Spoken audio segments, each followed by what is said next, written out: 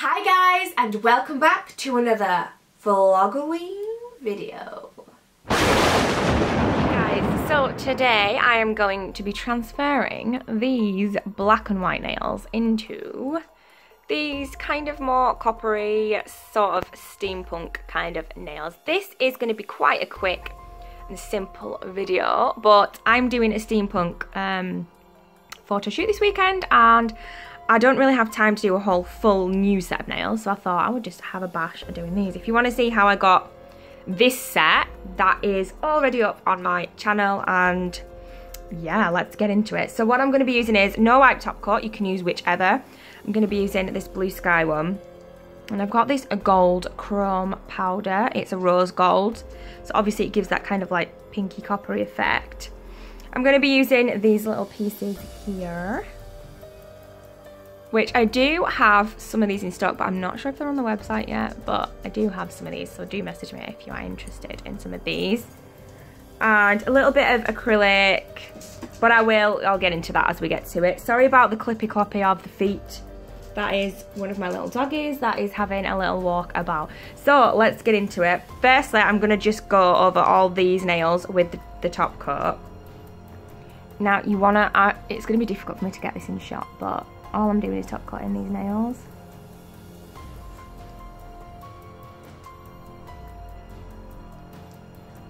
But you do need to make sure that you get it covered, otherwise the um the chrome obviously isn't gonna cover the whole nail.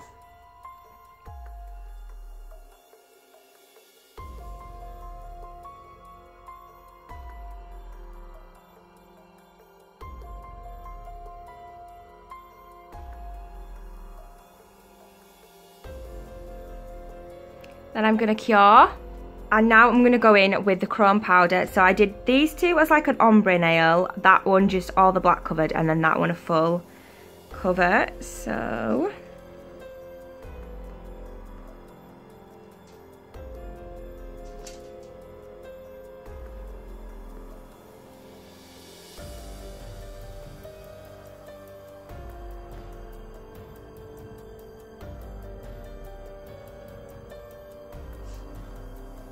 I'm so sorry if I'm not in shot.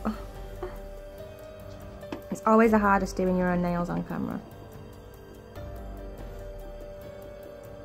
And I'm basically just gently patting it down as I get further down the nail.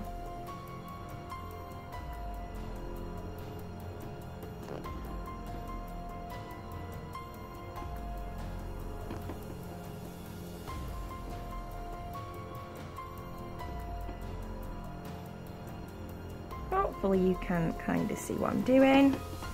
I'm just to get a little bit more and go over the tip a bit more. And then you just get that kind of ombre faded down kind of look going on.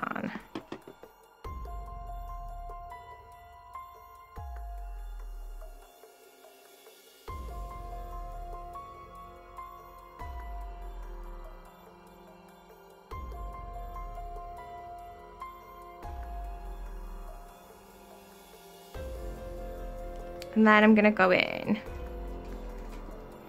Just cover this one. I don't want to cover any of the glitter, so... Am I in shot? I'm not even in shot, am my guys? I'm so sorry.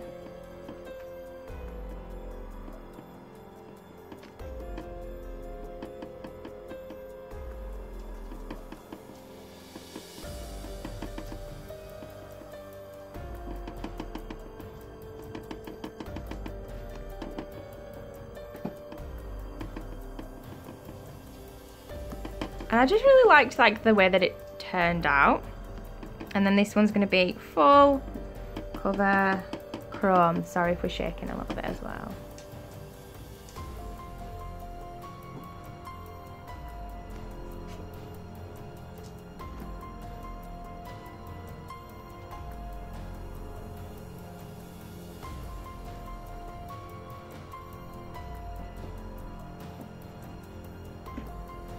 This is actually going to be covered in like loads of bits and bats, so it doesn't need to be perfect, but obviously you want to get it looking nice.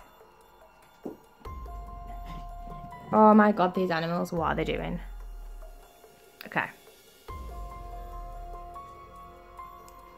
So that is that. Now what you might want to do, I didn't because I'm lazy, but what you can do is go over that with a top coat and cure. Now because I already have so many layers of stuff on these nails, I didn't want to have like millions of top coats on.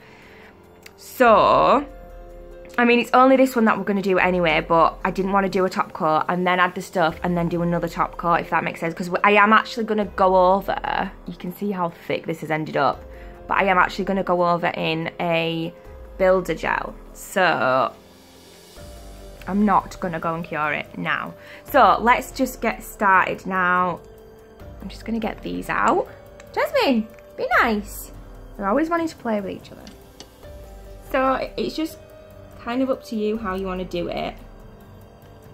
Um, and just set them wherever you feel like really. So, should I do it similar to what I did on the other finger? Oh my. And what I used, I just used the Kiara Sky dip base to stick this down. You can bend them, it will be easier if you bend them a little bit.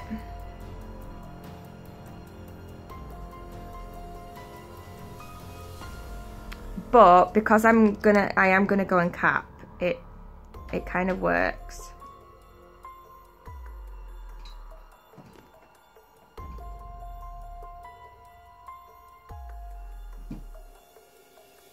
And it kind of gives it more of a 3D effect when you can see that they're not set down to the nail, if that makes sense. This stuff is very strong, um, but you just have to give it like a minute to kind of, to, to really stick it. And I think, I am going to put a big one on, I think. I didn't use any of these little ties on the other finger. One thing to try and remember when you're doing this, or anything like this is, can you see what I'm doing? um, your highest point of like gel or acrylic or whatever is going to be in the middle bit here. So you don't want anything too far to the side, if that makes sense. Because it's going to end up sticking out or getting filed, or you're not going to be able to get the right shape of nail that you want and stuff like that. And then I'm going to take a little one and pop it just here. So I'm going to add some glary bits and stuff to the sides.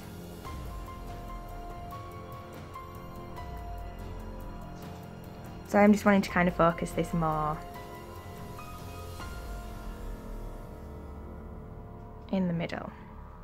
I want to have something silver, so I'm going to use, I'm going to put the Eiffel Tower in. I'm so sorry about the dogs, you guys. I have a silver star on my other finger.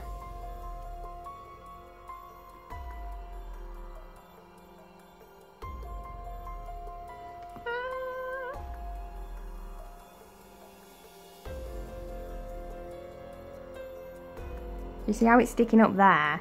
Because that's towards the end of the finger. That's not a good thing.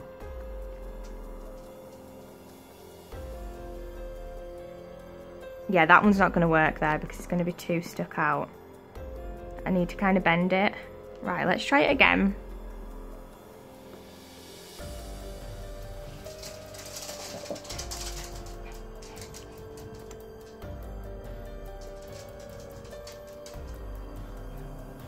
I think I'm going to have to kick the animals out of this room.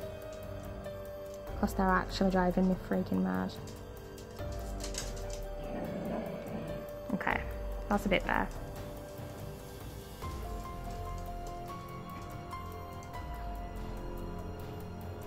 See, it's stuck down more to the finger now, if that makes sense. And then I think I'm going to leave it like that and then just go in with the glare, the bits of the glare and that, which adds definitely adds some fun to it. I don't know if you would class steampunk as Halloweeny, but it's a bit of fun and I thought, why not?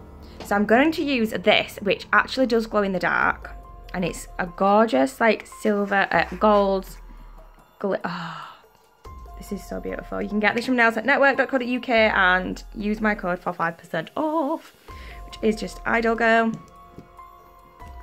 I'm also going to use this gold glitter. You're only going to want to use a small brush for this. And what I kind of did was I used the other acrylic to pick up the glare as well instead of instead of having like an extra um instead of just getting the clear out I thought I'll just use this and it did work. So you can be really random with this. And just kind of add it wherever you kind of fancy it really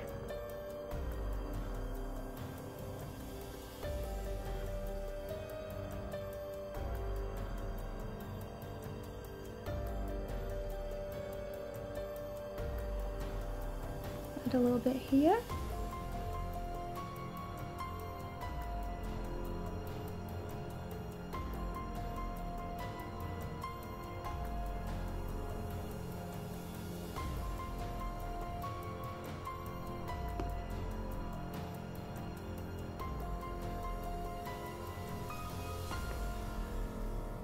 so sparkly, I love it!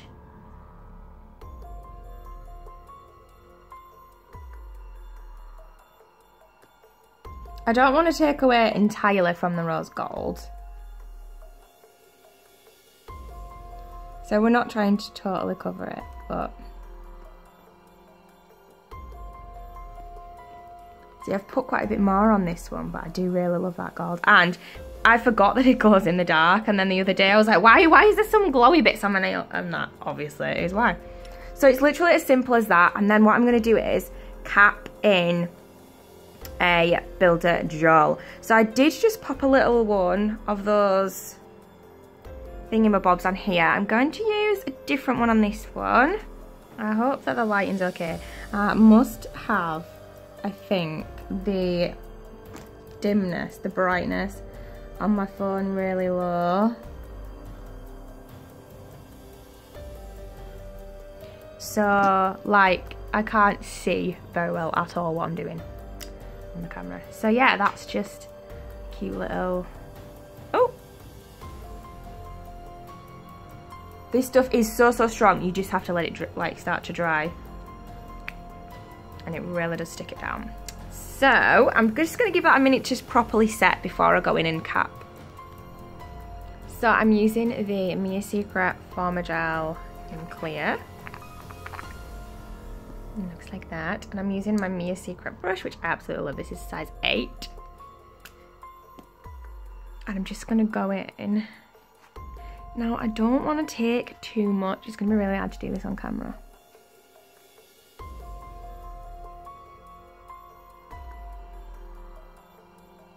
I also need to bear in mind at this stage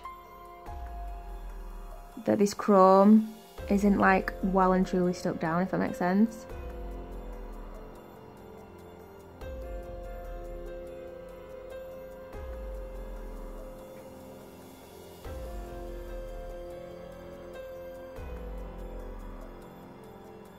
So I'm trying really careful and not to touch the chrome powder too much.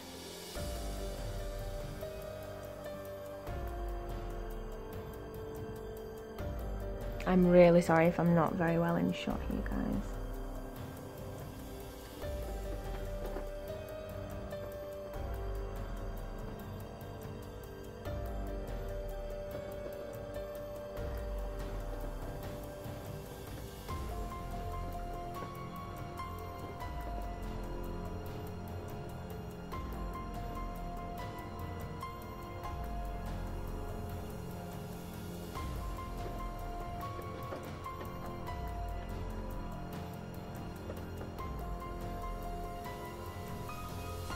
I don't even know if I'm in shot, you guys, but it's so difficult to do this when you're filming on yourself.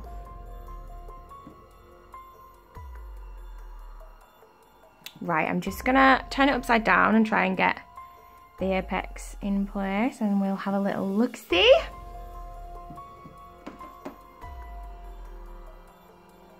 I honestly love this stuff so much.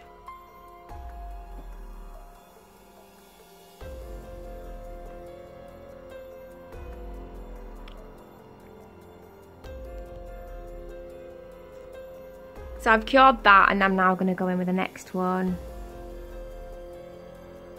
I probably am using way too much product. But I just don't want to use too little that it um,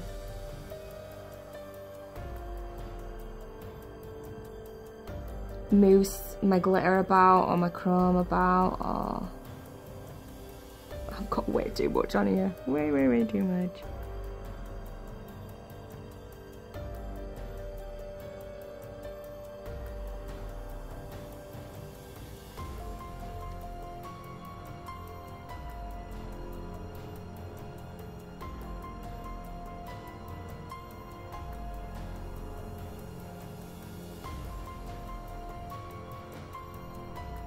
I do have to come off camera slightly just so I can see that I've covered the whole nail, if that makes sense.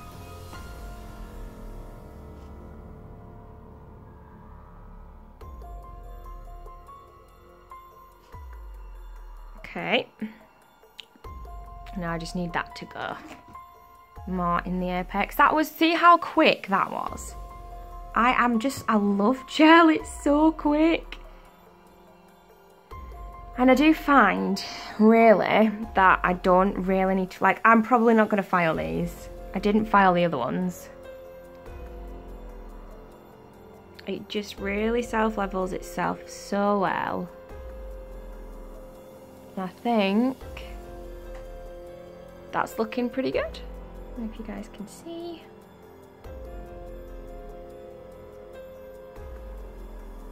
And let's cure. So I'm quite happy with the shape of these. This one bores out at this side a little bit, um, which isn't ideal, but I'm in a bit of a rush. I don't have time to faff about and I'm happy with them as they are for the sake of this photo shoot. So I'm just going to go straight in and top coat these with a no wipe. You want to make sure that you get that chrome really covered. Otherwise, oh, I've got gel everywhere. and just keep it nice and protected. You can even top coat the chrome bits twice if you want.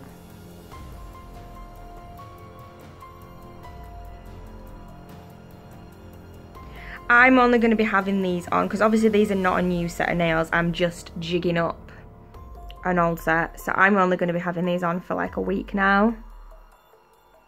And then I will be doing some new ones. Is a nice new set that you've done, I'm not even going to bother top coating them. I think I did, I think I did top coat the other hand. Oh. Oh wait, why am I top coating this one? Why am I top, I don't need to top coat that. Let's take that off because it's got loads of glitter in it as well. what is going on with me today? My brain. Bloody hell. So I'm going to then cure wipe over the two gel nails that I did because they've got a sticky layer on them because we haven't put that top coat on. But I just don't think there's any need.